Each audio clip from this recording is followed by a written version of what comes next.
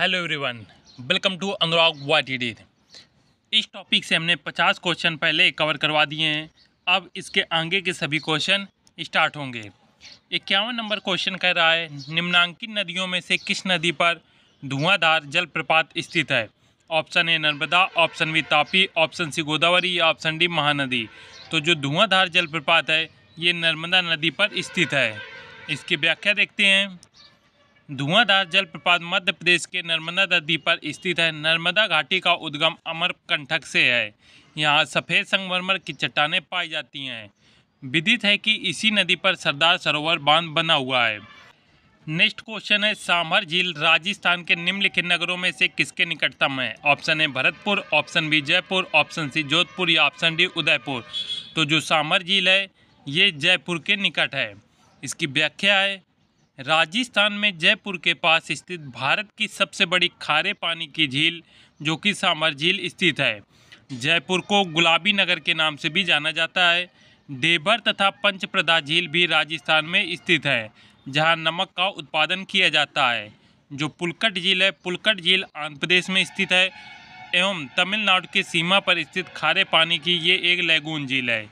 जो पुलकट झील है पुलकट झील आंध्र प्रदेश एवं तमिलनाडु की सीमा पर स्थित, ये एक खारे पानी की लैगून झील है और इसके ही निकट श्री हरकोटा प्रक्षेपण स्थल स्थित है। और लोनार झील की बात की जाए तो लोनार झील महाराष्ट्र में स्थित है और ये एक ज्वालामुखी या उल्का निर्मित झील है। नेक्स्ट क्वेश्चन है, निम्नलिखित में से कौन सा एक लैगून नहीं है? ऑप्शन ए अष्टमुडी झील ऑप्शन बी चिल्का झील ऑप्शन सी पेरियार झील या ऑप्शन डी पुलकट झील। तो जो लैगून झील नहीं है, वो है पेरियार झील। पेरियार झील एक लैगून झील नहीं है। व्याख्या है, समुद्र से पृथक होकर तटीय क्षेत्रों में निर्मित छिछली खारे पानी की झीलें लैगून झीलें कहलाती हैं। पेरियार झील 55 वर्ग किलोमीटर के क्षेत्र में विस्तृत एक कृत्रिम झील है, अतः यहाँ लैगून झील नहीं है। ये झील पेरियार नदी से पानी प्राप्त करती है और पेरियार नदी जो है, ये केरल में स्थित है। नेक्स्ट क्वेश्चन है श्रीहरिकोटा द्वीप स्थित है। ऑप्शन ए, चिल्का झील के समीप। ऑप्शन बी, महानदी के मुहाने के समीप। ऑप्शन सी, पुलकट झील के समीप या ऑप्शन डी, गोदावरी के मुहाने के समीप। तो जो श्रीहरिकोटा द्वीप है, ये पुलकट झील के समीप स्थित है। राइट आंसर है ऑप्शन नंबर सी। व्याख्या इसकी। श्रीहरिकोटा द्वीप पुलकट झील के समीप स्थित है और ये इसरो का प्रक्षेपण केंद्र है, जो आंध्र प्रदेश के पूर्वी तट पर स्थित है। इस केंद्र में भारतीय प्रक्षेपण यान के ठोस ईंधन, राकेट के विभिन्न चरणों का पृथ्वी का परीक्षण तथा प्रणोदक का प्रसंस्करण भी किया जाता है। नेक्स्ट क्वेश्चन है, बिम बिम्बानाथ झील स्थित है। Option A Andhra Pradesh, option B Kerala, option C Orissa या ऑप्शन डी तमिलनाडु। तो जो बिम्बानाथ झील है, ये केरल में स्थित है। राइट आंसर है ऑप्शन नंबर बी।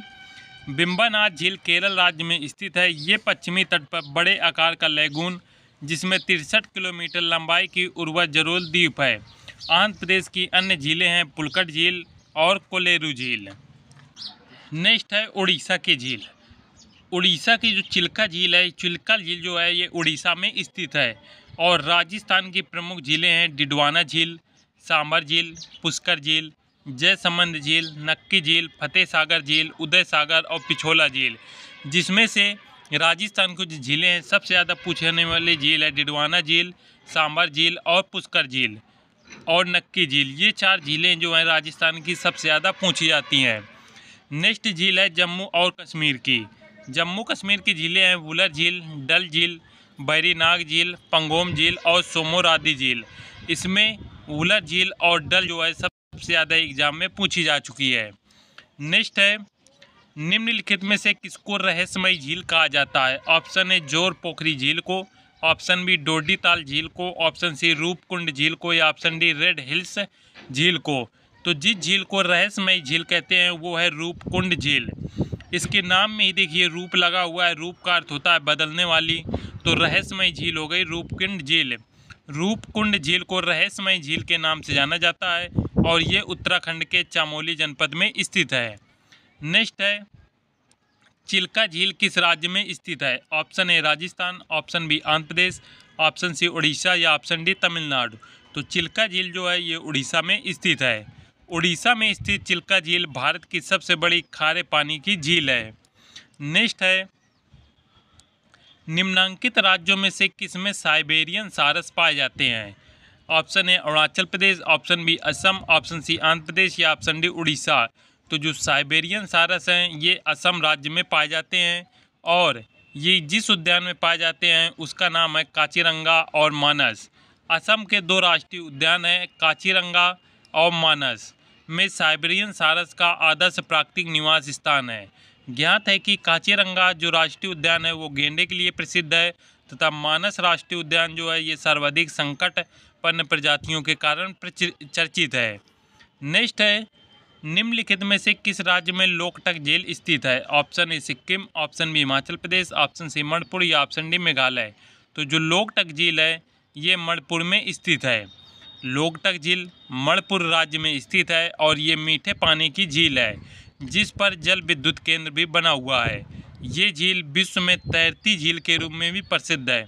जो लोकटक झील है, ये तैरती झील के नाम से भी प्रसिद्ध है और इस झील के पास केबुल लाम जोवो नामक राष्ट्रीय पार्क भी स्थित है। नेक्स्ट है रोहतांग दर्रा स्थित है। Option A, Himachal Pradesh, option B, Jammu Kashmir, option C, Sikkim या ऑप्शन डी, उत्तराखंड। तो जो रोहतांग दर्रा है, ये हिमाचल प्रदेश में स्थित है। रोहतांग दर्रा हिमाचल प्रदेश में स्थित है, जबकि लिपलोक दर्रा जो है, ये उत्तराखंड राज्य में स्थित है। नेक्स्ट क्वेश्चन है, जवाहर सुरंग कहाँ से गुजरती है? ऑप्शन ए पीर पंजाल से, ऑप्शन बी बनिहाल से, ऑप्शन सी ब्रुजिल से या ऑप्शन डी जोजिला से। तो जो जवाहर सुरंग है, ये बनिहाल से होकर गुजरती है। राइट आंसर है ऑप्शन नंबर बी। जवाहर सुरंग भारत के जम्मू कश्मीर राज्य के रामवन ज़िले के बनिहाल दर्रे में स्थित है और ये जम्मू कश्मीर, जम्मू को श्रीनगर से जोड़ने वाले राजमार्ग पर स्थित है। और जो पीर पंजाल दर्रा है, ये जम्मू कश्मीर के दक्षिण पश्चिम में पीर पंजाल श्रेणियों के मध्य स्थित है। जम्मू को श्रीनगर से जोड़ने वाला ये दर्रा पारंपरिक मुगल मार्ग पर स्थित है। बुरजुला दर्रा भारत और पाकिस्तान के बीच नियंत्रण रेखा पर स्थित है और ये दर्रा पाक अधिकृत कश्मीर को कश्मीर घाटी से जोड़ता है। और जोजिला दर्रा कश्मीर को ले से कारगिल द्रास आदि को जोड़ता है। नेक्स्ट है लिप लेक दर्रा स्थित है। Option A Jammu Kashmir option B Himachal Pradesh option C Uttaranchal या ऑप्शन डी अरुणाचल प्रदेश। तो जो लिप लेक दर्रा है ये उत, उत्तरांचल में स्थित है। लिप लेक दर्रा उत्तराखंड में स्थित है। उत्तराखंड में स्थित अन्य दर्रे हैं माना दर्रा और नीति दर्रा। नेक्स्ट क्वेश्चन निम्न में से कौन सा दर्रा सिक्किम में स्थित है? ऑप्शन ए, बड़ा Lachala, option B, Thagla, option C, Nathula या ऑप्शन डी, जोजिला। तो जो दर्रा सिक्किम में स्थित है, वो है नाथुला दर्रा। राइट आंसर है ऑप्शन नंबर सी। नाथुला दर्रा सिक्किम राज्य में स्थित है, जबकि जोजिला दर्रा जम्मू एवं कश्मीर में स्थित है, और जो बड़ा लाचला दर्रा है, ये हिमाचल प्रदेश में स्थित है। और ज्ञात है कि जो नाथुला दर्रा है इसके माध्यम से भारत, चीन व्यापार होता है और नाथुला नाथुला दर्रा सिक्किम में स्थित है। नेक्स्ट क्वेश्चन है, दक्षिण पश्चिम मानसून काल में निम्नलिखित स्थानों में से सबसे कम वर्षा कहाँ होती है? Option A Kolkata, option C Mangalore, option C Chennai या ऑप्शन डी दिल्ली। तो दक्षिण पश्चिम मानसून काल में सबसे कम वर्षा चेन्नई में होती है, राइट आंसर है ऑप्शन नंबर सी। दक्षिण पश्चिम मानसून काल में चेन्नई सबसे कम वर्षा प्राप्त करता है और यहाँ मात्र 40 सेंटीमीटर ही वर्षा होती है। ये महानगर उत्तर पूर्वी मानसून हवाओं से अपनी अधिकांश वर्षा अक्टूबर से दिसंबर के मध्य प्राप्त करता है। नेक्स्ट क्वेश्चन है, भारत में सबसे कम वर्षा वाला स्थान है। Option A Leh, option B Bikaner, option C Jaisalmer या ऑप्शन डी चेरापूंजी। तो भारत में सबसे कम वर्षा वाला स्थान है ले। राइट आंसर है ऑप्शन नंबर ए। इसकी व्याख्या है, ले भारत में सबसे कम वर्षा वाला स्थान है, ये जम्मू कश्मीर राज्य में स्थित है। ये हिमालय श्रेणी के वृष्ट छाया में स्थित होने के कारण शीतकाल दोनों ही मौसमों की वर्षा नहीं प्राप्त करता। भारत में सबसे अधिक वर्षा प्राप्त करने वाला स्थान है मासिन राम और ये मासिन राम जो है, ये मेघालय में स्थित है। जैसलमेर व बीकानेर राजस्थान के दो ज़िले हैं। भारत में शरतकालीन वर्षा के क्षेत्र हैं। Option A Orissa, Karnataka, option B Punjab और तमिलनाडु, ऑप्शन सी अरुणाचल प्रदेश और बिहार, या ऑप्शन डी तमिलनाडु और कर्नाटक। तो भारत में शरतकालीन वर्षक जो क्षेत्र है, वो है पंजाब और तमिलनाडु। राइट आंसर है ऑप्शन नंबर बी। इसकी व्याख्या देखते हैं। भारत में अक्टूबर एवं नवंबर में मानसून के लौटने के साथ ही मानसून के चलने की दिशा दक्षिण की ओर हो जाती है। इन लौटती हुई मानसूनी पवनों से पंजाब, पश्चिमी बंगाल, तमिलनाडु तथा केरल आदि राज्यों में शरतकालीन वर्षा होती है, जबकि दिसंबर, जनवरी में शीतकालीन वर्षा उत्तरी भारत में और उत्तर पश्चिम से आने वाली चक्रवातों से तथा दक्षिणी भारत में लौटते हुए मानसूनों से होती है, और ये वर्षा रबी की फ़सल के लिए बहुत ही उपयोगी होती है। नेक्स्ट क्वेश्चन है पारादीप बंदरगाह कहाँ स्थित है? Option A, Kerala, option B, Karnataka, option C, Paschim Bengal या ऑप्शन डी, उड़ीसा। तो पारादीप बंदरगाह, ये उड़ीसा में स्थित है। राइट आंसर है ऑप्शन नंबर डी। पारादीप बंदरगाह उड़ीसा में स्थित है और ये बंदरगाह उड़ीसा तट पर महानदी डेल्टा क्षेत्र में स्थापित किया गया है।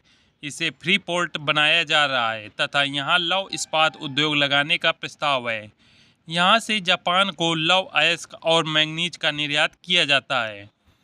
नेक्स्ट क्वेश्चन है, निम्नलिखित में से कौन सा बादल अत्यधिक तीव्र वर्षा के लिए उत्तरदायी है? ऑप्शन ए, कपासी, ऑप्शन बी, कपासी वर्षा, ऑप्शन सी, वर्षा स्त्री या ऑप्शन डी, पच्छाब स्त्री। तो जो बादल अत्यधिक तीव्र वर्षा के लिए उत्तरदायी है, वो है कपासी वर्षा। राइट आंसर है ऑप्शन नंबर बी। कपासी वर्षा मेघ अत्यधिक लंबावत विकास चलने वाले मेघ हैं। इन इन मेघों से तेज वर्षा, उपल वृष्टि तथा प्रबल झंझावत की क्रियाएँ अधिक होती हैं। इसमें भयंकर मेघ गर्जन तथा बिजली की भी चमक होती है। नेक्स्ट क्वेश्चन, भारत के किस राज्य में उसके क्षेत्र का अधिकतम प्रतिशत क्षेत्र वना आच्छादित है? Option A, Arunachal Pradesh, option B, Meghalaya, option C, Mizoram या ऑप्शन डी, नागालैंड। तो जिस क्षेत्र में सबसे अधिक वन आच्छादित हैं, वो है मिजोरम राज्य। इसकी व्याख्या देखते हैं। पंद्रहवीं भारत वन स्थिति रिपोर्ट 2017 के अनुसार देश के कुल वना आवरण एवं वृक्षारोपण आठ लाख दो हज़ार अट्ठासी वर्ग किलोमीटर है, जो कि देश के कुल भौगोलिक क्षेत्रफल का चौबीस दशमलव उनतालीस परसेंट है। देश में कुल वन आवरण सात लाख आठ हज़ार दो सौ तिहत्तर वर्ग किलोमीटर है, जो कुल भौगोलिक क्षेत्रफल का इक्कीस दशमलव चौवन परसेंट है। इस रिपोर्ट के अनुसार सर्वाधिक वनावरण प्रसिद्धता वाले तीन राज्य व संगीत क्षेत्र के अनुसार लक्षद्वीप, मिजोरम और अंडमान एवं निकोबार द्वीप समूह है। नेक्स्ट है, निम्नलिखित राज्यों में से किसका वन क्षेत्र भारत में सर्वाधिक है? Option A Chhattisgarh, option B Maharashtra, option C Madhya Pradesh option D Andhra Pradesh. तो जिस क्षेत्र में सबसे ज़्यादा वन पाए जाते हैं, वो राज्य है मध्य प्रदेश। राइट आंसर है ऑप्शन नंबर सी। इसकी व्याख्या है। पंद्रहवीं भारतीय वन स्थिति रिपोर्ट 2017 के अनुसार देश का कुल वनावरण एवं वृक्षारोपण देश के कुल भौगोलिक क्षेत्रफल का चौबीस दशमलव उनतालीस प्रतिशत है और देश में कुल वनावरण देश के कुल भौगोलिक क्षेत्रफल का इक्कीस दशमलव चौवन परसेंट है और इस रिपोर्ट के अनुसार क्षेत्रफल के देश से सर्वाधिक वनावरण वाले तीन राज्य क्रमशः मध्य प्रदेश, अरुणाचल प्रदेश तथा छत्तीसगढ़ हैं। नेक्स्ट है, भारत में अप्लावी वन कहाँ पाए जाते हैं? Option A Andaman, option B Himalaya के दक्षिणी ढाल में, ऑप्शन सी मध्य प्रदेश या ऑप्शन डी अरावली। तो भारत में अप्लावी वन सुंदर वन में पाए जाते हैं। अपलावी वन या इन्हें हम मैग्रो वन भी कहते हैं, ये सुंदर वन में पाए जाते हैं। इस प्रकार के वन दलदली मिट्टी में उगने कारण जल सहन की क्षमता अधिक रखते हैं। गंगा और ब्रह्मपुत्र के डेल्टा में सुंदरी वृक्ष के अधिकता कारण इस क्षेत्र को सुंदरवन कहा जाता है। तो सुंदरवन जो है, ये पश्चिम बंगाल में स्थित है और यहाँ, इसे हम मैग्रोवन और अपलानी अपलावी वन जो है, यहीं पे सुंदरवन पाए जाते हैं और सुंदरवन का जो नाम है, यहाँ पे सबसे ज़्यादा जो सुंदरी वृक्ष हैं, ये पाए जाते हैं, इसलिए इसका नाम सुंदरी, सुंदरवन रखा गया है। नेक्स्ट है, लातूर किस प्रांत में स्थित है? Option A, Andhra Pradesh, option B, Maharashtra, option C, Gujarat, option D, Madhya Pradesh. Latur जो है, ये महाराष्ट्र में स्थित है।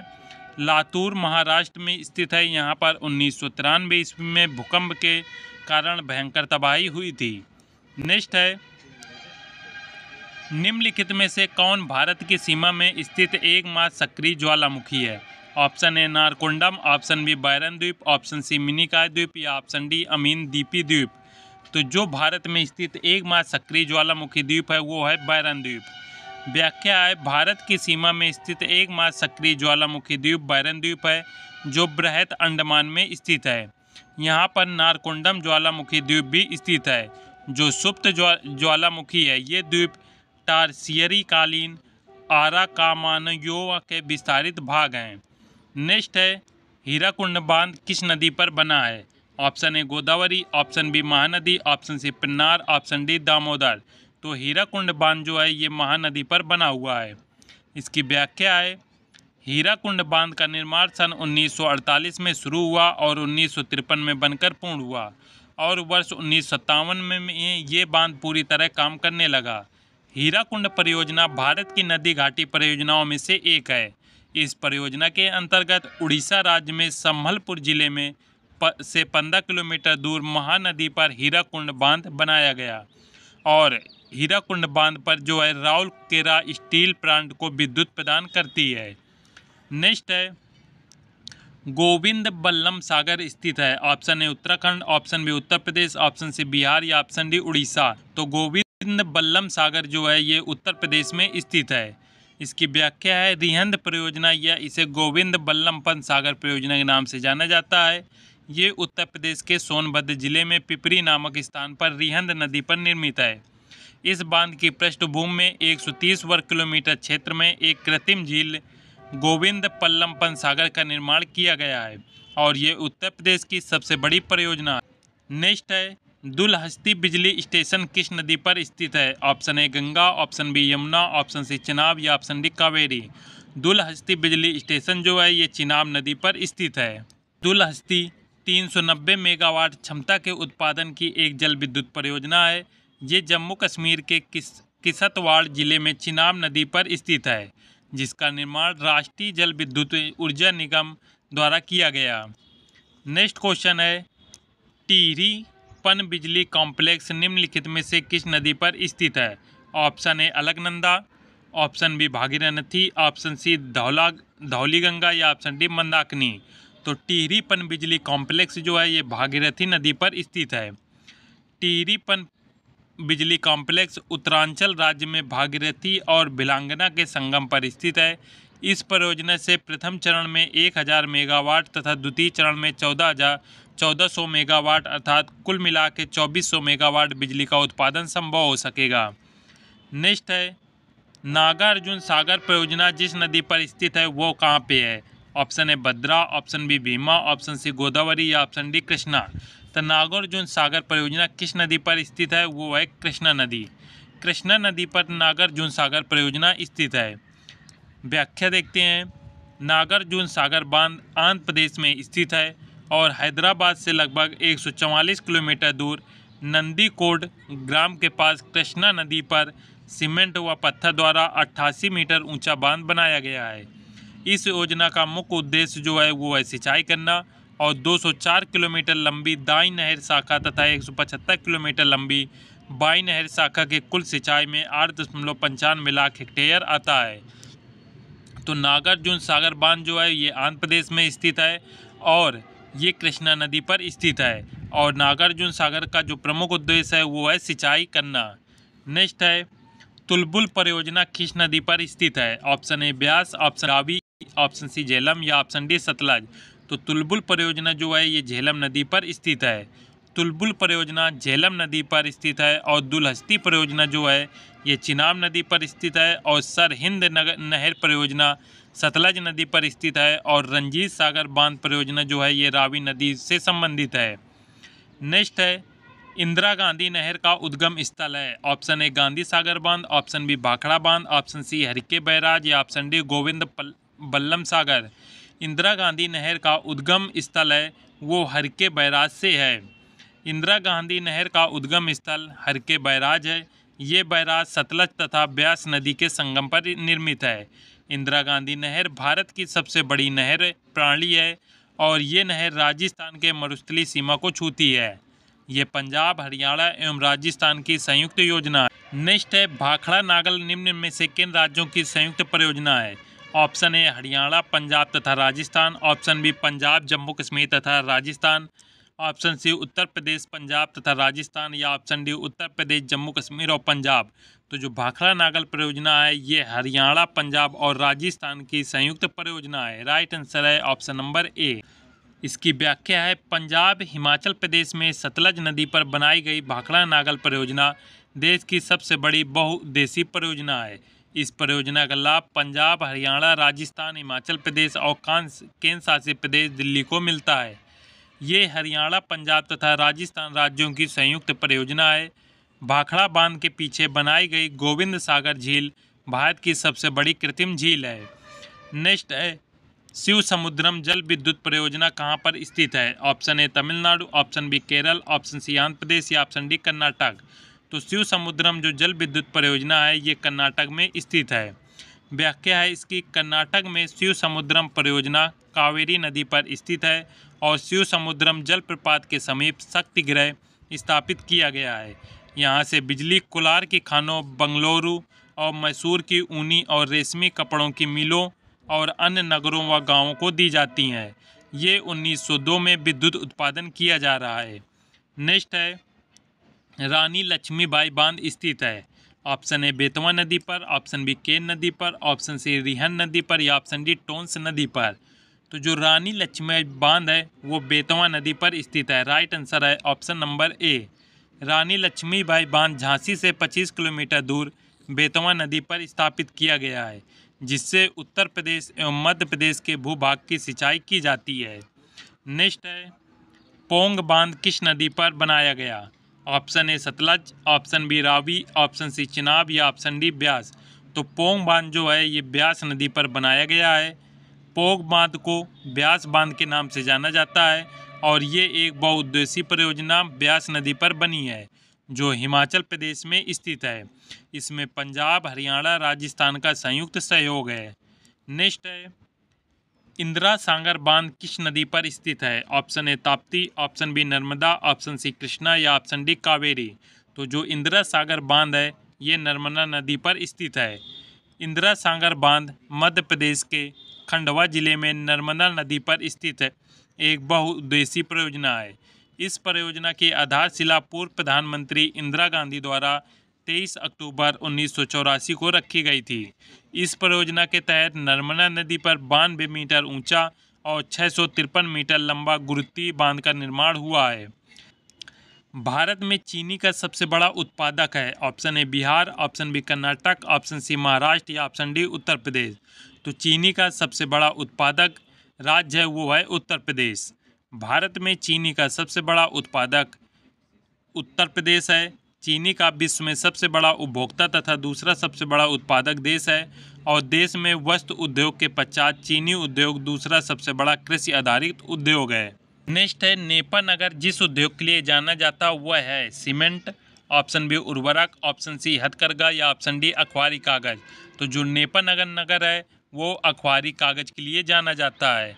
इसकी व्याख्या है भारत में अखबारी कागज़ बनाने के लिए नेपा नगर का कारखाना विख्यात है और नेपा नगर जो है ये मध्य प्रदेश में स्थित है। मैसूर, कर्नाटक, बेलपुर, केरल, संगाली, महाराष्ट्र एवं दीपापुर, नागालैंड अन्य अखबारी कागज़ के उत्पादन केंद्र हैं। वर्तमान में कागज़ उद्योग के सबसे अधिक कारखाने पश्चिम बंगाल में स्थित हैं, जहाँ टीटागढ़, नैहाटी, हावड़ा, बांसबेरिया आदि प्रमुख केंद्र हैं। आंध्र प्रदेश में कागज़ नगर, तिरुपति व राजमुद्री और महाराष्ट्र में, मुंबई में व मध्य प्रदेश, भोपाल में, इंदौर तथा शहडोल और बिहार में डाल मियाँ नगर और हरियाणा में यमुनानगर आदि इसके प्रमुख केंद्र हैं।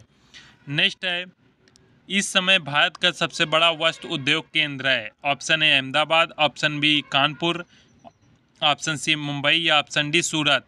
तो वर्तमान समय में सबसे बड़ा वस्त्र उद्योग का केंद्र है मुंबई। राइट आंसर है ऑप्शन नंबर सी अहमदाबाद नगर देश के सर्वाधिक संख्या में बहत्तर कारखाने कार्यरत हैं और मुंबई को वस्त्रों की राजधानी कहा जाता है। यहाँ कारखानों की संख्या तिरसठ है और उत्पादन सर्वाधिक है।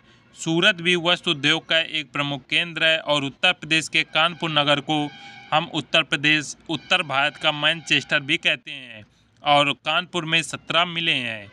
नेक्स्ट है, इनमें से किस शहर को दक्षिण भारत का मैनचेस्टर कहा जाता है। Option A Coimbatore option B, Chennai, option C, Bengaluru या ऑप्शन डी, मदुरई।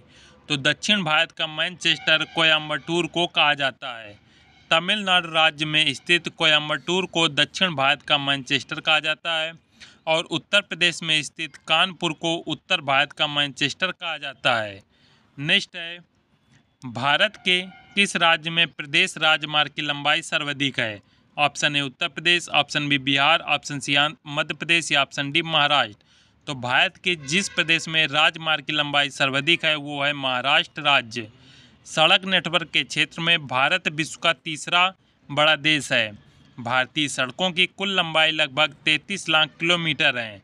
सड़कों की कुल लंबाई के संदर्भ में क्रमशः महाराष्ट्र, फिर उत्तर प्रदेश, मध्य प्रदेश, उड़ीसा, तमिलनाडु महत्वपूर्ण स्थान रखते हैं। उत्तर, दक्षिण व पूर्व, पश्चिम कॉरिडोर सुपर हाईवे का मिलन कस्बा है। Option A Delhi option B Nagpur option C Jhansi या ऑप्शन डी हैदराबाद। तो उत्तर, दक्षिण व पूर्व, पश्चिम कॉरिडोर सुपर हाईवे का मिलन कस्बा है, वो है झांसी। राइट आंसर है ऑप्शन नंबर सी पूर्व, पश्चिम गलियारा, सिलचर को पोरबंदर से तथा उत्तर, दक्षिण गलियारा, श्रीनगर को कन्याकुमारी से जोड़ता है। और ये एक दूसरे को झांसी, उत्तर प्रदेश में काटते हैं। नेक्स्ट है वाराणसी को कन्याकुमारी से जोड़ने वाला ग्रेट डेकन राजपथ गुजरता है। ऑप्शन ए रायपुर से, ऑप्शन बी विजयवाड़ा से, ऑप्शन सी हैदराबाद से या ऑप्शन डी चेन्नई से। तो जो ग्रेट डेकन राजपथ है, ये हैदराबाद से गुजरता है। व्याख्या है इसकी, वाराणसी को कन्याकुमारी से जोड़ने वाली ग्रेट डेकन राजपथ हैदराबाद से गुजरती है, जिसे राष्ट्रीय राजमार्ग संख्या सात के नाम से जाना जाता है और इसकी कुल लंबाई तेईस किलोमीटर है। ज्ञात है कि भारत का सबसे छोटा राजमार्ग सैंतालीस ए है, जिसकी लंबाई मात्र छः किलोमीटर है। नेक्स्ट है, कोंकण रेल मार्ग नहीं जोड़ता है। ऑप्शन ए, बेलगाम को, ऑप्शन बी, मडगांव को, ऑप्शन सी, रत्नागिरी को या ऑप्शन डी, उडप्पी को। तो कोंकण रेल मार्ग बेलगाम को नहीं जोड़ता। कोंकण रेलवे महाराष्ट्र के रोहा, बीर, खेड़, चिपलूम, रत्नागिरी, राजापुर, कुणाल स्वांतवादी गोवा के पेनेम बीरना मडगाम, केनकोना तथा कर्नाटक के करवार, अंगोला, होनवर, भटकल, कुंडापुरा, उडबी, थोकुर, मंगलौर तक जाती है और इसकी कुल लंबाई 760 किलोमीटर है। इस रेल मार्ग पर पहली बार रेल परिचालन सन 26 जनवरी सत्रह सौ इक्यासी ईस्वी को प्रारंभ हुआ और इस रेल मार्ग से लंबान्वित होने वाले राज्य महाराष्ट्र, गोवा, कर्नाटक और केरल हैं। नेक्स्ट है भारत में पहली रे, रेलवे लाइन कब शुरू हुई? ऑप्शन ए अठारह सौ तिरपन में ऑप्शन बी 1850 में ऑप्शन सी 1840 में या ऑप्शन डी 1890 में। तो भारत में पहली रेलवे लाइन अठारह सौ तिरपन ईस्वी में शुरू हुई। भारत में सर्वप्रथम रेल व्यवस्था की शुरुआत अठारह सौ तिरपन ईस्वी में मुंबई से थाने के बीच प्रारंभ हुई थी और विश्व की सबसे पहली रेलगाड़ी अठारह पच्चीस ईस्वी में लीवरपूल से मैनचेस्टर के बीच चली थी। भारतीय रेलवे बोर्ड की स्थापना मार्च 1905 ईस्वी में की गई और रेलवे वित्त को 1924-25 ईस्वी के बीच एक वर्त कमेटी की सिफारिश पर समान राजस्व अलग कर दिया गया। भारतीय रेल प्रशासन तथा प्रबंधन की ज़िम्मेदारी रेलवे बोर्ड पर है। नेक्स्ट है, भारत का सर्वाधिक गहराई वाला बंदरगाह है। Option A Kandla, option B Cochin, option C Paradip या ऑप्शन डी मारमा गोवा। तो भारत का सर्वाधिक गहराई वाला बंदरगाह है, वो है पारादीप। पारादीप बंदरगाह सर्वाधिक गहराई वाला बंदरगाह है। विकल्प में दिए गए बंदरगाहों में पारादीप बंदरगाह सर्वाधिक गहराई वाला अठारह दशमलव सात मीटर है। ये बंदरगाह उड़ीसा के जगत सिंहपुर ज़िले में स्थित है। ये भारत के पूर्वी समुद्री किनारे पर स्थित सबसे बड़े समुद्र तटों पर से एक है। और ये बंदरगाह एक कृत्रिम हार्बर पर बनाया गया है। पारादीप गहरे पानी वाले बंदरगाह हैं जो बंगाल खाड़ी तथा महानदी के संगम पर स्थित हैं। नेक्स्ट है, निम्नलिखित में से कौन सा बंदरगाह भारत के पूर्वी तट का नहीं है? Option A Chennai, option B Kandla, option C Paradip या ऑप्शन डी तूती कोरियन तो जो भारत के पूर्वी तट का बंदरगाह नहीं है, वो है कांडला बंदरगाह। भारत के पश्चिमी तट पर प्रमुख बंदरगाह हैं कांडला मुंबई जवाहरलाल नेहरू बंदरगाह मरमा गोवा न्यू मंगलुरु कोच्चि आदि तथा पूर्वी तट के बन, प्रमुख बंदरगाह हैं कोलकाता हल्दिया पारादीप विशाखापट्टनम चेन्नई तूतीकोरियन आदि हैं। नेक्स्ट है हल्दिया बंदरगाह कौन सी वस्तु आयात की जाती है? Option A Matsya option B heavy machine tools option C इस्पात या ऑप्शन डी पेट्रोलियम पदार्थ। तो हल्दिया बंदरगाह से पेट्रोलियम पदार्थ आयात किए जाते हैं। पश्चिमी बंगाल स्थित हल्दिया बंदरगाह कोलकाता तक न पहुँचने वाले बड़े बड़े जलयानों के लिए विशेष रूप से कोलकाता के सहायक बंदरगाह के रूप में विकसित किया गया है और ये हुगली नदी के ठीक मुहाने पर स्थित है। यहाँ पेट्रोलियम आयात की विशेष सुविधाएँ विकसित की गई हैं। नि, निकट में ही हल्दिया रिफाइनरी की स्थापना की जा चुकी है। नेक्स्ट है निम्नलिखित में से कौन सा एक बंदरगाह कच्छ की खाड़ी पर स्थित है? Option A Cochin, option B Haldia, option C Kandla या ऑप्शन डी तूतीकोरिन। तो जो बंदरगाह कच्छ की खाड़ी पर स्थित है, वो बंदरगाह है कांडला बंदरगाह। गुजरात स्थित, गुजरात राज्य में स्थित कांडला बंदरगाह कच्छ की खाड़ी पर स्थित है। हल्दिया बंदरगाह बंगाल की खाड़ी में, के कोलकाता में स्थित है और मुंबई व कोचीन बंदरगाह ये प्राकृतिक बंदरगाह है। विशाखापट्टनम देश का सबसे गहरा बंदरगाह है तथा पूर्वी तट के बंदरगाहों में चेन्नई सबसे प्राचीन बंदरगाह और कांडला बंदरगाह जो है एक ज्वार बंदरगाह है।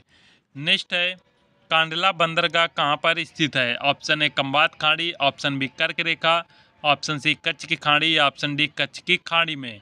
तो कांडला बंदरगाह जो है वो कच्छ की खाड़ी में स्थित है।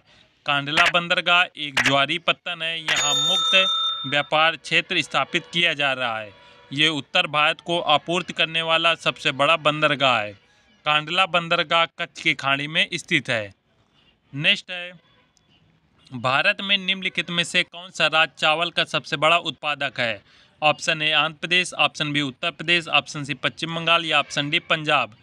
तो इस क्वेश्चन का राइट आंसर है पश्चिम बंगाल। चावल का सबसे बड़ा उत्पादक राज्य है पश्चिम बंगाल। व्याख्या है इसकी चावल भारत का मूल पौधा है और ये भारत का प्रमुख खाद्यान्न है। भारत में चावल उत्पादन की दृष्टि से प्रथम स्थान पर पश्चिम बंगाल है, दूसरे व तीसरे स्थान पर क्रमशः उत्तर प्रदेश व आंध्र प्रदेश हैं।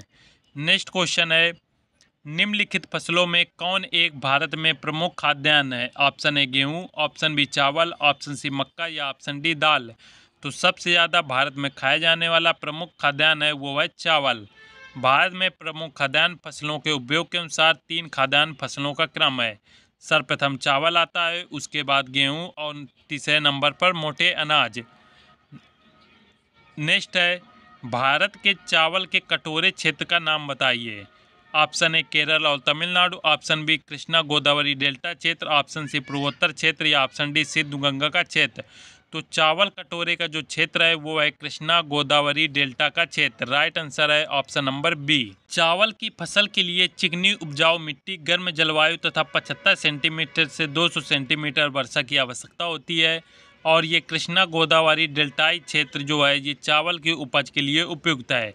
इसलिए इस क्षेत्र को चावल का कटोरा के नाम से जाना जाता है। नेक्स्ट है किस राज्य को देश का धान का कटोरा कहा जाता है? Option A, Chhattisgarh, option B, Madhya Pradesh, option C, Andhra Pradesh या ऑप्शन डी, उत्तर प्रदेश। तो धान का कटोरा छत्तीसगढ़ को कहा जाता है। राइट आंसर है ऑप्शन नंबर ए। छत्तीसगढ़ राज्य की अर्थव्यवस्था कृषि पर आधारित है और कृषि उत्पादन क्षेत्र में छत्तीसगढ़ को धान का कटोरा कहा जाता है और यहाँ धान की पैदावार अधिक होती है और यहाँ पर पंद्रह सौ से अधिक किस्म की चावल पैदा होती है। और राज्य की पचासी परसेंट जनसंख्या जो है वो कृषि पर निर्भर है। नेक्स्ट है, सबसे ज़्यादा गेहूँ कहाँ पैदा होता है? Option A Uttar Pradesh, option B Punjab, option C Madhya Pradesh या ऑप्शन डी हरियाणा में। तो सबसे ज़्यादा गेहूँ उत्तर प्रदेश राज्य में पैदा होता है। व्याख्या है इसकी, सर्वाधिक गेहूँ उत्तर प्रदेश में पैदा होता है, जबकि प्रति हेक्टेयर में पंजाब में, पंजाब का प्रथम स्थान है।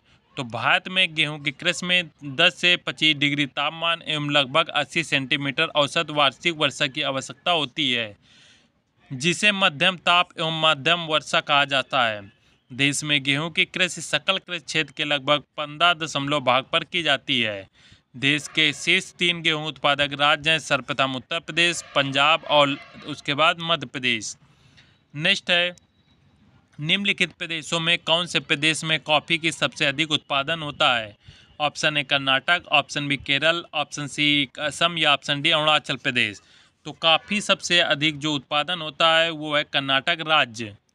इसकी व्याख्या है, भारत में अधिकांशता अरबिका किस्म की कॉफ़ी का उत्पादन किया जाता है। इसके बाद लाल लवमय मिट्टी वाले क्षेत्रों पर विकसित किए गए हैं। कॉफ़ी उत्पादन के क्षेत्र में मुख्यतः कर्नाटक में बा, बाबा बुदन की पहाड़ियाँ और तमिलनाडु में नीलगिरी की पहाड़ियाँ पाई जाती हैं। और भारत में काफ़ी उत्पादन में कर्नाटक का प्रथम स्थान है और विश्व में काफ़ी उत्पादन में प्रथम स्थान जो है वो ब्राज़ील का है और काफ़ी के बागान को फिजेंडा कहा जाता है। नेक्स्ट है, भारत के किस राज्य में गन्ने की खेती के अंतर्गत सबसे अधिक भूमि है? Option A Maharashtra, option B Uttar Pradesh, option C Andhra Pradesh, option D Madhya Pradesh. तो गन्ने खेती के अंतर्गत सबसे अधिक भूमि है, वो है मध्य प्रदेश। राइट आंसर है ऑप्शन नंबर गन्ना उष्ण कटबंधी फ़सल है, इसके लिए वर्षा की आवश्यकता 100 से 150 सेंटीमीटर होती है और तापमान 30 डिग्री से 35 डिग्री होना चाहिए। भारत के प्रमुख गन्ना उत्पादक राज्य हैं उत्तर प्रदेश, उसके बाद महाराष्ट्र, फिर कर्नाटक, फिर तमिलनाडु। और हमें ज्ञात है कि गन्ना उत्पादन में प्रथम स्थान विश्व में ब्राज़ील का है तथा द्वितीय स्थान भारत का है। तथा तृतीय स्थान विश्व में चीन का है। नेक्स्ट है, भारत में जूट का सर्वाधिक क्षेत्र है। ऑप्शन ए असम राज्य में ऑप्शन बी पश्चिम बंगाल में ऑप्शन सी बिहार में या ऑप्शन डी मेघालय राज्य में। तो भारत में जूट का सर्वाधिक क्षेत्र है, वो है पश्चिम बंगाल राज्य में। इसकी व्याख्या है, वर्तमान समय में जूट उत्पादन में भारत का प्रथम स्थान है और देश के लगभग सभी जूट पाँच राज्य, पश्चिम बंगाल बिहार, असम, उड़ीसा और मेघालय में उगाया जाता है। ये जो हैं, ये जूट की उपज देने वाले बीज के नाम हैं। नेक्स्ट है, भारत का सबसे बड़ा कपास उत्पादक है। Option A Maharashtra option B Gujarat option C Punjab, या ऑप्शन डी हरियाणा। तो भारत का सबसे बड़ा कपास उत्पादक जो राज्य है, वो है महाराष्ट्र। भारत को कपास के उत्पत्ति स्थल माना जाता है और विश्व का 20 परसेंट कपास उत्पादक क्षेत्र भारत में स्थित है। जबकि उत्पादन केवल नौ परसेंट होता है। भारत में सर्वाधिक कपास महाराष्ट्र में पैदा की जाती है। इसके पश्चात गुजरात, कर्नाटक, मध्य प्रदेश एवं पंजाब का स्थान आता है। वर्तमान में अग्रणी चार उत्पादक राज्य हैं गुजरात, महाराष्ट्र, आंध्र प्रदेश एवं हरियाणा। नेक्स्ट है, भारत में आधे से अधिक सोयाबीन का उत्पादन प्राप्त होता है। ऑप्शन है मध्य प्रदेश से, ऑप्शन बी आंध्र प्रदेश से, ऑप्शन सी महाराष्ट्र से या ऑप्शन डी राजस्थान से। तो सबसे अधिक जो आधे से अधिक जो सोयाबीन है, वो मध्य प्रदेश राज्य से हमें प्राप्त होता है।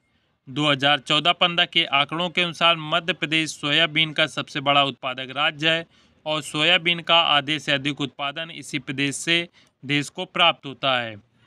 नेक्स्ट है, केसर की सबसे अधिक मात्रा उत्पन्न होती है। ऑप्शन है पूर्वोत्तर पहाड़ियों में, ऑप्शन बी कश्मीर में, ऑप्शन सी केरल में या ऑप्शन डी गोवा में। तो केसर की सबसे अधिक मात्रा कश्मीर में प्राप्त उत्पन्न होती है। केसर का सर्वाधिक उत्पादन करने वाला राज्य जम्मू कश्मीर है और काजू का महत्वपूर्ण उत्पादक राज्य महाराष्ट्र, आंध्र प्रदेश और उड़ीसा है और भारत संसार का सबसे बड़ा काजू निर्यातक देश है। नेक्स्ट है, भारत में रबड़ का सबसे बड़ा उत्पादक है। Option A Assam, option B Karnataka, option C Kerala या ऑप्शन डी महाराष्ट्र। भारत में रबड़ का सबसे बड़ा उत्पादक जो राज्य है वो है केरल। भारत में सर्वाधिक रबड़ का उत्पादन केरल राज्य में होता है तथा द्वितीय स्थान तमिलनाडु व तृतीय स्थान कर्नाटक राज्य का आता है। नेक्स्ट है, निम्नलिखित में से कौन सा युग्म सुमेलित नहीं है? ऑप्शन ए, नीली क्रांति मत्स्य उत्पादन, ऑप्शन बी, पीत क्रांति लयन उत्पादन, ऑप्शन सी भूरी क्रांति, ताप विद्युत उत्पादन या ऑप्शन डी, हरित क्रांति, खाद्यान्न उत्पादन। तो जो सुमेलित नहीं है, वो भूरित, भूरी क्रांति जो है, वो ताप विद्युत उत्पादन से संबंधित नहीं है। बाकी जो नीली क्रांति है, ये मत्स्य उत्पादन संबंधित है, और जो पीत क्रांति या पीली क्रांति है, ये तिलैन उत्पादन से और हरित क्रांति जो है, ये खाद्यान्न उत्पादन से संबंधित है। जो नीली क्रांति है, ये मछली उत्पादन संबंधित है, पीत क्रांति, ये इसे पीली क्रांति कहते हैं, ये तिलैन उत्पादन संबंधित है, और हरित क्रांति जो है, खाद्यान्न उत्पादन संबंधित है, और जो श्वेत क्रांति है, ये दुग्ध उत्पादन संबंधित है, रजत क्रांति अंडा उत्पादन संबंधित है और जो गोल क्रांति है, ये आलू उत्पादन से संबंधित है। नेक्स्ट है, निम्नलिखित में से कौन सा राज्य भारतवर्ष में रबड़ की खेती के लिए प्रसिद्ध है? Option A Karnataka, option B Orissa, option C Andhra Pradesh या ऑप्शन डी केरल। तो रबड़ की खेती के लिए जो राज्य प्रसिद्ध है, वो है केरल राज्य। व्याख्या है, भारतवर्ष में रबड़ की सर्वाधिक खेती केरल में होती है और रबड़ बोर्ड का जो मुख्यालय है, वो है कोटायम केरल में स्थित है। रबड़ 20 से 30 मीटर की उच्च भूमि पर पाया जाने वाला पौधा है और ये पौधारोपण के पाँच सात वर्षों बाद लेटेक्स देना प्रारंभ कर देता है। इसके लिए आर्द्र मौसम पच्चीस से पैंतीस डिग्री तथा वार्षिक वर्षा जो है 200 सेंटीमीटर की आवश्यकता होती है। नेक्स्ट है, भारतीय हीरा संस्थान स्थित है। Option A, Nai Delhi, option B, Surat, option C, Mumbai या ऑप्शन डी, जयपुर में। तो जो भारतीय हीरा संस्थान है, वो सूरत राज्य में स्थित है। गुजरात के सूरत ज़िले में उन्नीस सौ अठहत्तर ईस्वी में भारतीय हीरा संस्थान की स्थापना की गई और इस प्रकार इस प्रश्न का उत्तर जो है, वो है ऑप्शन नंबर बी। नेक्स्ट है, भारतीय दलहन अनुसंधान संस्थान कहाँ पर स्थित है? ऑप्शन ए लखनऊ में, option B Kanpur, option C Faizabad या ऑप्शन डी वाराणसी। तो भारतीय दलहन अनुसंधान केंद्र कानपुर में स्थित है। व्याख्या इसकी, भारतीय कृषि अनुसंधान परिषद द्वारा उन्नीस ईस्वी में समन्वित दलहन सुधार परियोजना प्रारंभ की गई और 1970 में इसे परियोजना निदेशालय के रूप में गठित किया गया। कालांतर में आठवीं पंचवर्षीय योजना में निदेशालय स्तर पर उन्नयन करके संस्थान का दर्ज किया गया। इस प्रकार कानपुर में स्थित भारतीय दलहन अनुसंधान जो संस्थान है, ये पाँच सितंबर उन्नीस सौ तिरानवे को अपने वर्तमान स्वरूप में अस्तित्व में आया। नेक्स्ट है, वन अनुसंधान संस्थान कहाँ पर स्थित है? Option A Delhi, option B Bhopal, option C Dehradun या ऑप्शन डी लखनऊ। वन अनुसंधान संस्थान जो है, ये देहरादून में स्थित है। उत्तरांचल ही नहीं, अपितु पूरे भारत का वन अनुसंधान संस्थान देहरादून में स्थित है, जिसकी स्थापना सन 1914 में की गई थी। यहीं पर वन कर्मचारियों को वन शिक्षा तथा प्रशिक्षण दिया जाता है और भारत में वन संबंधी शिक्षा का प्रारंभ 18 में फॉरेस्ट स्कूल ऑफ़ देहरादून में शुरू किया गया था, जिसका जिसका वर्तमान नाम इंडियन फॉरेस्ट कॉलेज है तथा दूसरी वन अनुसंधान शाला की स्थापना देहरादून में कूलागढ़ में की गई और इस अनुसंधान शाला में वन उत्पादन एवं वन उपजों के रासायनिक एवं औषधि गुणों का पर शोध कार्य चलता रहता। है केंद्रीय शुष्क क्षेत्र अनुसंधान काजरी कहाँ पर स्थित है? Option A Ahmedabad, option B Bangalore, option C Hyderabad, या ऑप्शन डी जोधपुर। तो जो काजरी है, ये जोधपुर में स्थित है। केंद्रीय शुष्क क्षेत्र अनुसंधान काजरी जोधपुर में स्थित है और हैदराबाद में कृषि अनुसंधान शोध संस्थान स्थित है। नेक्स्ट है, भारत का वन्य जीव संस्थान कहाँ पर स्थित है? Option A Almora, option B Dehradun, option C Bhopal या ऑप्शन डी गुवाहाटी। तो भारत का वन्य जीव संस्थान ये देहरादून में स्थित है। भारत का वन्य जीव संस्थान देहरादून में स्थित है और इसकी स्थापना उन्नीस सौ बयासी में की गई। नेक्स्ट है, भारतीय चावल शोध संस्थान कहाँ पर स्थित है? Option A Cuttack, option B Kolkata, option C Trivandrum या ऑप्शन डी मुंबई। तो भारतीय चावल शोध संस्थान जो है, ये कटक में स्थित है। भारतीय चावल शोध संस्थान की स्थापना उड़ीसा के कटक ज़िले में की गई, जहाँ से चावल की अनेक नवीन प्रजातियाँ निकाली जाती हैं। नेक्स्ट है, वर्तमान में सर्वाधिक चीनी उत्पादन करने वाला भारतीय राज्य कौन सा है? तो सर्वाधिक चीनी उत्पादन करने वाला राज्य उत्तर प्रदेश है, और ये सहायक अध्यापक भर्ती परीक्षा 2018 में पूछा गया प्रश्न है। इसकी व्याख्या है वर्ष 2017-18 के अनुसार उत्तर प्रदेश में सत्तासी दशमलव पाँच लाख टन चीनी उत्पादन के साथ महाराष्ट्र को पीछे छोड़कर प्रथम बार भारत का प्रथम चीनी उत्पादक राज्य बना। उत्तर प्रदेश में गन्ना, आलू, गेहूँ व कुल खाद्यान्न उत्पादन में भारत का शीर्ष स्थान है। नेक्स्ट है, लोकटक झील किस राज्य में स्थित है? तो लोकटक झील मणिपुर राज्य में स्थित है और ये 2018 में पूछा गया प्रश्न है। ने इसकी व्याख्या है। उत्तर भारत के मणिपुर राज्य में मोईरंग शहर में स्थित लोकटक झील पूर्वोत्तर भारत की सबसे बड़ी ताजे पानी की झील है और लोकटक झील में तैरता हुआ आइसलैंड इसकी मुख्य विशेषता है और विश्व का एकमात्र तैरता हुआ राष्ट्रीय उद्यान कीबुल लाम जावो उद्यान लोकटक झील में स्थित है। नेक्स्ट है, कौन सा बंदरगाह कच्छ की खाड़ी पर स्थित है? तो जो बंदरगाह कच्छ की खाड़ी पर स्थित है, वो है कांडला बंदरगाह या दीनदयाल उपाध्याय बंदरगाह। ये भी 2018 की परीक्षा में पूछा गया प्रश्न है। व्याख्या है इसकी, कांडला बंदरगाह गुजरात राज्य के कच्छ की खाड़ी में स्थित है और ये बंदरगाह आयात निर्यात से पूरे विश्व के साथ जुड़ा हुआ है। इस बंदरगाह से तरल पदार्थ, नमक, लोहा, रसायन इत्यादि का आयात निर्यात होता है। कांडला बंदरगाह का नाम बदलकर अब दीनदयाल उपाध्याय बंदरगाह कर दिया गया है। अब हम देखेंगे इस टॉपिक से रिलेटेड जो भी वन लाइनर और एग्ज़ाम पॉइंट से रिलेटेड पॉइंट्स हैं, उनको देखेंगे। पहला पॉइंट्स है, कर्क रेखा भारत के बीचों बीच से होकर गुजरती है और ये भारत के आठ राज्यों को स्पर्श करती है, जिसमें गुजरात, राजस्थान, मध्य प्रदेश, छत्तीसगढ़, झारखंड, पश्चिम बंगाल, त्रिपुरा और मिजोरम राज्य सम्मिलित है। नेक्स्ट पॉइंट है भारत का कुल क्षेत्रफल बत्तीस लाख सतासी हज़ार दो सौ तिरसठ वर्ग किलोमीटर है। नेक्स्ट पॉइंट है, भारत का पूर्व से पश्चिम की ओर जो विस्तार है, वो उनतीस सौ तैंतीस किलोमीटर है और पूर्व में किबूथी और किबूथी जो है, ये अरुणाचल प्रदेश में स्थित है। इससे पश्चिम में गौर माथा जो कि गुजरात तक स्थित है। नेक्स्ट पॉइंट है, भारत का उत्तर बिंदु जो है, वो इंदिरा काल है, इंदिरा काल है और ये जम्मू कश्मीर में स्थित है। तथा दक्षिणी बिंदु जो है वो इंदिरा पॉइंट है और ये ग्रेट निकोबार द्वीप में स्थित है। और उत्तर से दक्षिण तक की जो हमारी लंबाई है वो बत्तीस किलोमीटर है। नेक्स्ट है, भारत का स्थलीय सीमा की लंबाई पंद्रह हज़ार दो सौ किलोमीटर है। नेक्स्ट पॉइंट, भारत की जो तट रेखा की लंबाई है वो इकसठ किलोमीटर है। नेक्स्ट पॉइंट, भारत की सीमा सात देशों पाकिस्तान, बांग्लादेश, नेपाल, अफ़गानिस्तान, भूटान, चीन, म्यांमार से मिलती है। नेक्स्ट पॉइंट है, बांग्लादेश से भारत के पश्चिम बंगाल, असम, मेघालय, त्रिपुरा, मिजोरम राज्य की सीमाएँ मिलती हैं।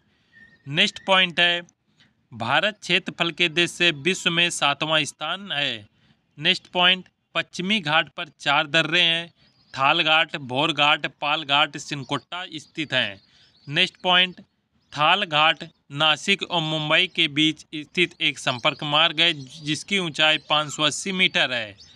नेक्स्ट पॉइंट है, काराकोरम दर्रा, जम्मू कश्मीर राज्य के लद्दाख क्षेत्र में काराकोरम श्रेणियों के मध्य स्थित है। नेक्स्ट पॉइंट है, बनिहाल दर्रा जो है, ये जम्मू कश्मीर राज्य के दक्षिण पश्चिम में स्थित है। नेक्स्ट पॉइंट है, सिपकिला दर्रा, हिमाचल प्रदेश राज्य के जास्कर श्रेणी में स्थित है। और इस दर्रे से होकर शिमला से तिब्बत जाने का मार्ग है।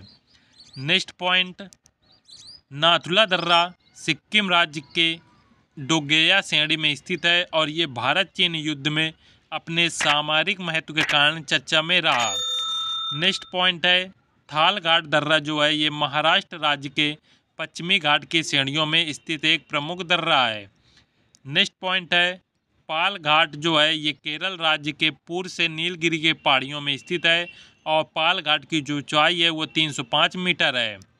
नेक्स्ट पॉइंट है, भोर घाट दर्रा महाराष्ट्र राज्य के पश्चिमी घाट के श्रेणियों में स्थित है और पुणे बेलगाम रेल मार्ग और सड़क मार्ग इसी दर्रे से गुजरते हैं।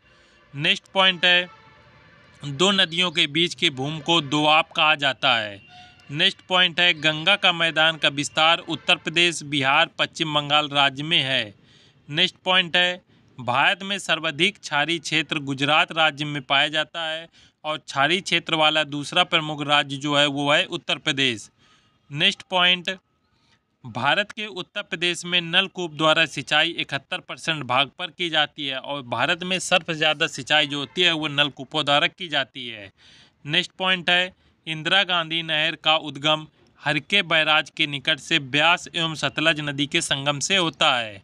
नेक्स्ट पॉइंट है, निचली गंगा नहर का उद्गम स्थल नरौरा बुलंदशहर से है। नेक्स्ट पॉइंट, ओंकारेश्वर परियोजना मध्य प्रदेश के खांडवा ज़िले में नर्मदा नदी पर निर्माणाधीन है। नेक्स्ट पॉइंट है, भाखड़ा नागल बाँध जो है, ये सतलज नदी पर बना हुआ है। नेक्स्ट पॉइंट टीरी बाँध जो उत्तराखंड राज्य में स्थित है और ये भागीरथी नदी पर बना हुआ है। नेक्स्ट पॉइंट है, मैथान, बेल पहाड़ी एवं तिलैया बांधों का निर्माण दामोदर की सहायक नदी बाराकर पर दामोदर नदी के प्रथम चरण में किया गया। नेक्स्ट पॉइंट, अलमट्टी बाँध जो है, ये कृष्णा नदी पर बना हुआ है। नेक्स्ट पॉइंट है, मेजा बाँध, ये राजस्थान के भीलवाड़ा ज़िले में कोठारी नदी पर बना हुआ है। नेक्स्ट पॉइंट है तुलबुल नौवहन परियोजना जो है, ये जम्मू कश्मीर राज्य के झेलम नदी पर निर्मित की गई है। नेक्स्ट पॉइंट है, तमिलनाडु का समुद्र समुद्र तट जो है, वो कोरमंडल तट कहलाता है। नेक्स्ट पॉइंट है, रामेश्वर, तमिलनाडु राज्य के कन्याकुमारी ज़िले में स्थित है। नेक्स्ट पॉइंट है, भारत के कुल नौ राज्य तटरेखा से लगे हुए हैं, जिनमें गुजरात, महाराष्ट्र, गोवा, कर्नाटक केरल, तमिलनाडु, आंध्र प्रदेश, उड़ीसा और पश्चिम बंगाल आते हैं। नेक्स्ट है, उज्जैन जो है, ये छिप्रा नदी के तट पर स्थित है। बिमनायत झील केरल की सबसे बड़ी झील है और ये तिरासी दशमलव बहत्तर किलोमीटर लंबी और चौदह दशमलव अड़तालीस किलोमीटर चौड़ी है। नेक्स्ट पॉइंट है, चिल्का जो है, चिल्का झील, ये उड़ीसा तट पर स्थित खारे पानी की एक लैगून झील है। और इसकी अधिकतम लंबाई उनतीस किलोमीटर तथा चौड़ाई जो है एक सौ बत्तीस किलोमीटर है। नेक्स्ट पॉइंट है, भारत में सबसे कम वर्षा वाला स्थान जो है ले है और यहाँ पर नौ दशमलव बीस सेंटीमीटर वर्षा होती है। नेक्स्ट पॉइंट है, भारत में हरित क्रांति के जो पिता हैं, वो डॉक्टर एम एस स्वामीनाथन को माना जाता है। नेक्स्ट पॉइंट है, गुलाबी क्रांति का संबंध प्याज उत्पादन से है। नेक्स्ट पॉइंट नीली क्रांति का संबंध मछली उत्पादन से है और भारत में चावल का सबसे बड़ा उत्पादक राज्य जो है वो पश्चिम बंगाल है। नेक्स्ट पॉइंट है, गुजरात भारत का सबसे बड़ा कपास उत्पादक राज्य है। नेक्स्ट पॉइंट है, उत्तर प्रदेश राज्य को शक्कर का प्याला भी कहा जाता है। नेक्स्ट पॉइंट, पीली क्रांति जो है वो तिलहन के उत्पादन से संबंधित है। खेतड़ी राजस्थान के झुंझुनू ज़िले के स्थित एक उपन, उपनगर है और यहाँ पर तांबे के समृद्ध भंडार मौजूद हैं। नेक्स्ट पॉइंट है, भारत में सर्वाधिक कोयला भंडार झारखंड में पाया जाता है। नेक्स्ट पॉइंट है, कलपक्कम तमिलनाडु राज्य में स्थित है और ये भारत के परमाणु संयंत्र यानी नापकी विद्युत परियोजना की पहली परियोजना है। नेक्स्ट पॉइंट, भारत का प्रथम परमाणु ऊर्जा केंद्र तारापुर परमाणु ऊर्जा केंद्र है और तारापुर जो है, तारापुर ये महाराष्ट्र में स्थित है। नेक्स्ट है सतारा। पवन ऊर्जा संयंत्र के लिए प्रसिद्ध है। पवन ऊर्जा के क्षेत्र में भारत का पाँचवा स्थान है सतारा का और सतारा जो है ये महाराष्ट्र में स्थित है। नेक्स्ट पॉइंट है, भारत में ऊर्जा का महत्वपूर्ण स्रोत कोयला है। Next point, Hindustan cables factory Narayanpur में स्थित है। नेक्स्ट पॉइंट है। भारत में चीनी का सबसे बड़ा उत्पादक जो है वो महाराष्ट्र है और यहाँ पर समग्र भारत का तीस परसेंट चीनी उत्पादन होता है। नेक्स्ट पॉइंट है, गुजरात के सूरत ज़िले में उन्नीस सौ अठहत्तर ईस्वी में भारतीय हीरा संस्थान की स्थापना की गई। नेक्स्ट पॉइंट है, भारतीय दलहन अनुसंधान संस्थान जो है ये कानपुर में स्थित है। नेक्स्ट है, भारतीय मौसम विज्ञान विभाग की स्थापना 1875 में नई दिल्ली में की गई थी। नेक्स्ट पॉइंट, भारत में सुनामी वार्निंग सेंटर जो है, ये हैदराबाद में स्थित है। भारत का वन्य जीव संस्थान जो है, ये देहरादून में स्थित है और इसकी स्थापना उन्नीस सौ बयासी में की गई। नेक्स्ट पॉइंट, भारतीय चावल शोध संस्थान की स्थापना उड़ीसा के कटक ज़िले में की गई। नेक्स्ट पॉइंट है, राष्ट्रीय डेयरी अनुसंधान संस्थान ये करनाल में, करनाल, हरियाणा में स्थित है। नेक्स्ट पॉइंट है, केंद्रीय खनन अनुसंधान, झारखंड राज्य के धनबाद में स्थित है। नेक्स्ट पॉइंट है, राजस्थान राज्य के राजधानी शहर जयपुर को गुलाबी नगरी के नाम से जाना जाता है।